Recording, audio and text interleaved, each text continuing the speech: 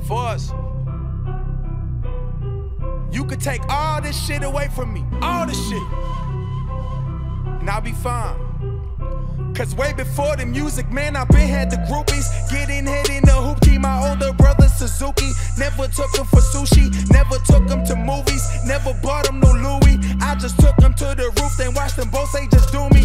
And I learned the game early, you can't fool me or screw me. I was uptown in Harlem at 17, pushing jewelry.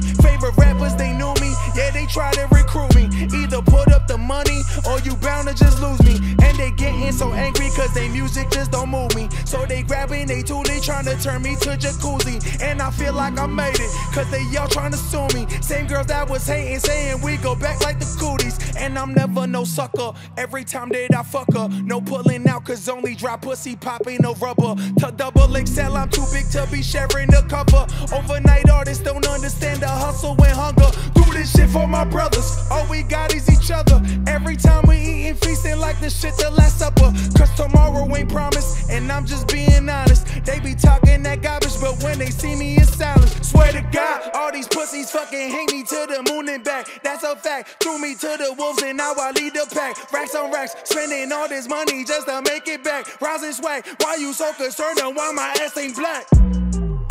Just focus on the track.